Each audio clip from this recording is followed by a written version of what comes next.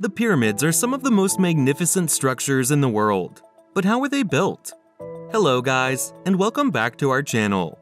In this video, we explore the entrance vault to the Great Pyramid and the Scan Pyramids corridor to try to understand how these ancient Egyptian engineers constructed such an incredible monument.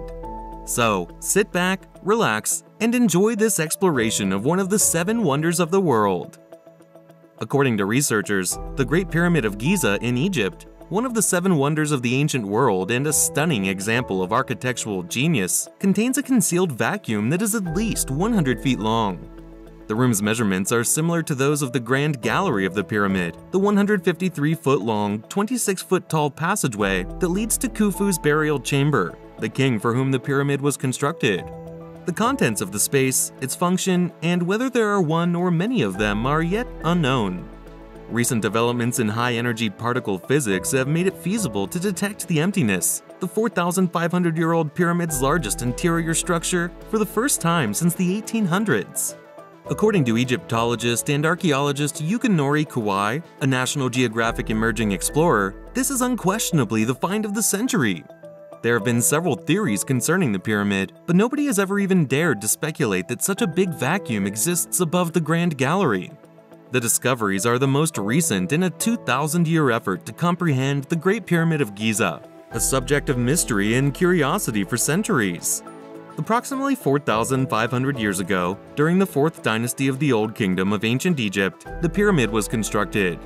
Egypt at that time had a strong, highly centralized monarchy that benefited greatly from commerce and Nile supported agriculture. Unfortunately, the Great Pyramid represents the power's pinnacle. Khufu, a king who ruled from 2509 to 2483 BC, constructed a pyramid for himself whose base covers more than 13 acres and was once 479 feet tall. About 2.3 million limestone pieces needed to be mined, transported, sized, and placed into position to make up the monument.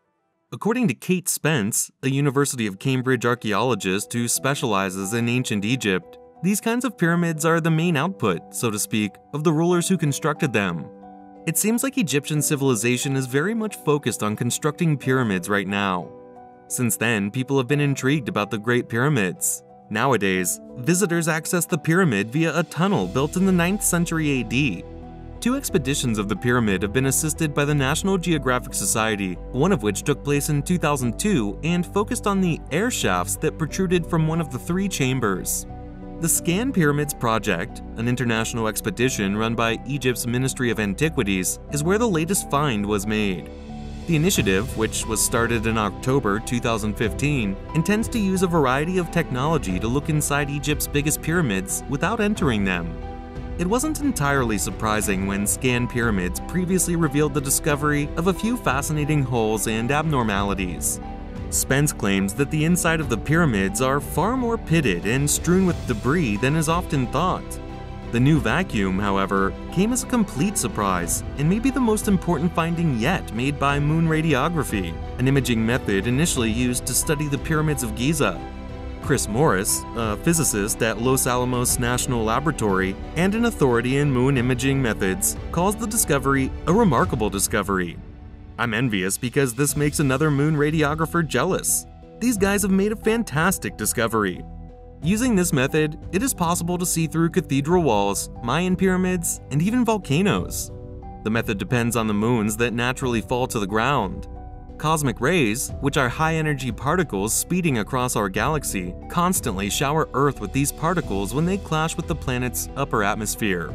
Muons are invisible to the human eye, but scientists can detect them using specialized films and detectors that follow their 3D journeys.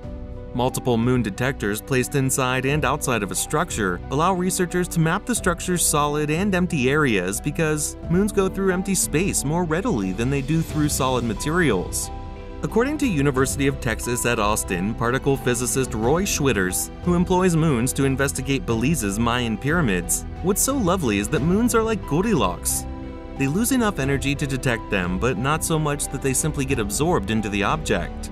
They really are a wonderful gift from nature. In the case of the Great Pyramid, a group headed by Kunihiro Morishima, a physicist at Nagoya University, installed muon detectors within the structure, allowing them to gather data for months. The initial data from Morishima were released, and to the researchers' astonishment, they revealed that an area deep within the pyramid allowed many more muons to get through than they had anticipated. These extra muons seemed to trace a 100 foot long cavity that had a grand gallery like cross section. Later, two other teams from the French Atomic Energy Commission and the Japanese Particle Physics Research Organization KEK collaborated to verify Morishima's findings. Different techniques were used by each team to locate muons. There is less than a 1 in a million chance that any one experiment was a fluke since the researchers saw a signal for the emptiness in each experiment that attained at least a 5 sigma level of statistical significance. The same standard of proof is needed to confirm the existence of novel subatomic particles like the Higgs boson. The area that seems to be empty, which the researchers neutrally referred to as the void, is at least 100 feet long. Its function is still unknown, and for the time being, researchers are being careful in not using the phrase chamber.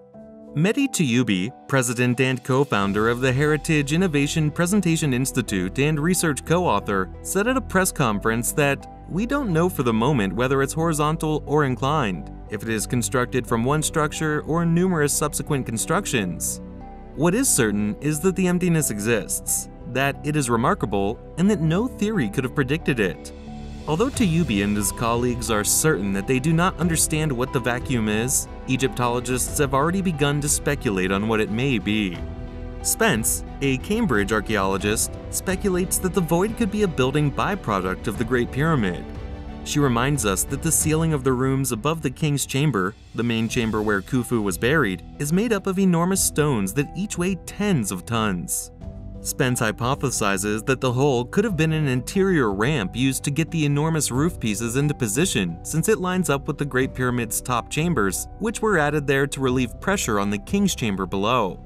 She claims that this ramp may have been left unfilled or weakly backfilled as building progressed.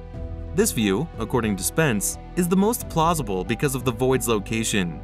It's too strategically located to install blocks there, the Grand Gallery lies immediately above the vacuum, which Egyptologist Salima Ikram believes may indicate that it was involved in the building of that corridor. She cynically advises, though, to be skeptical of recent interpretations. She adds, I don't believe it's ever too early to guess, but you may be wildly off. We'll have to wait and see whether these or other theories concerning the void's function come true. Work on the project, according to Tayoubi and other Scan Pyramid colleagues, has just begun. And a word of warning to anyone who has fantasies of going into the abyss themselves, researchers caution that there are no future intentions to dig into the vacuum since there are no known tunnels that link to the abyss. Instead, they assert that they will make every effort to observe the area without interfering with it in the foreseeable future. There's a lot of heavy, thick rock, and drilling into it might have unintended consequences, according to Ikram. Would you want to clean the Mona Lisa so you can see what's behind her, if there was anything there? Maintaining the monument's integrity is crucial.